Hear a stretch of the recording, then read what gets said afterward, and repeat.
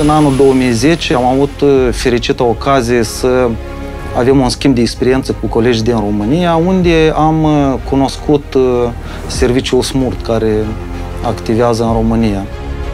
Împreună cu colegii din România am identificat că una din oportunități ar fi accesarea fondurilor europene. În acest sens, am descris un proiect și chiar am aplicat cu el în cadrul unui program european.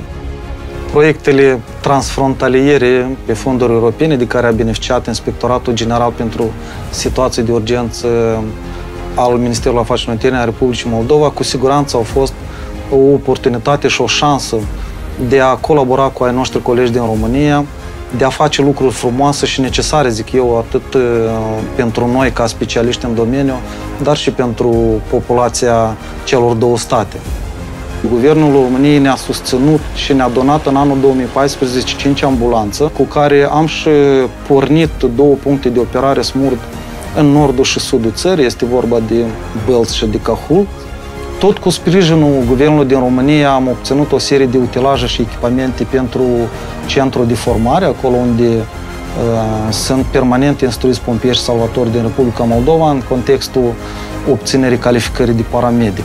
Suntem uh, ambițioși, ne dorim și vrem uh, ca această colaborare să continue, inclusiv prin proiectele transfrontaliere. Un proiect realizat cu sprijinul Guvernului României.